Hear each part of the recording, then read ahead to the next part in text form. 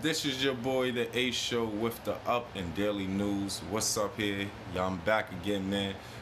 Y'all see my background, man. Brooklyn pastor manhandled woman during a live stream service.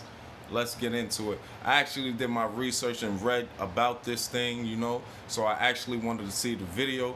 I'm not going to show so much, but I'm actually going to, you know, talk about this video. So let's get into it, man. Now let's give Jesus a round of applause. While they take pictures and they want to be on social media, take the pictures. Take the pictures. Take the pictures. Take the pictures. Take the pictures. We're going to stop that right there. We're going to stop that right there. Now, what I actually read was the pastor, you know, he actually called the lady up there, you know, to speak some words of God, you know. But before she got up there, she she stand she stood up, you know, and told everybody to praise to Jesus, you know, then started talking in tongues and started walking his way, you know. So before she even get hit the altar, he grabbed her and shoved that lady all the way out and told somebody to get her out of there.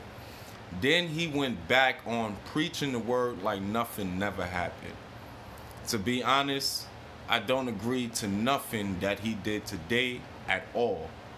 Why? Because it, it that that don't make no sense, brother.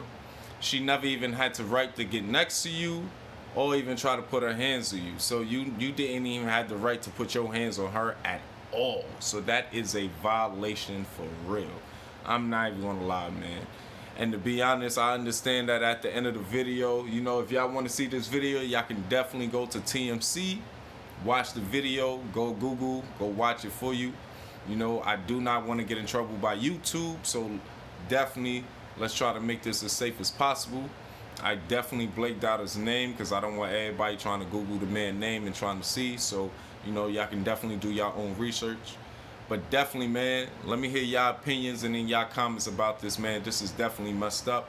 Definitely hit me back up, man. This is the Ace Show, man. See y'all later, man.